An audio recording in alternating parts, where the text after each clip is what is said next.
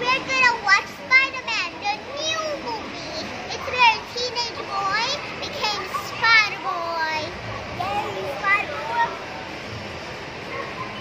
be watching. And we have this. What is it? Um, I'm calling that.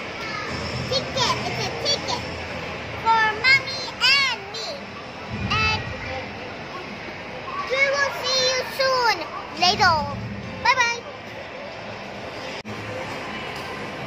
Just got out from the movie and it was awesome. You cannot even believe how good was it.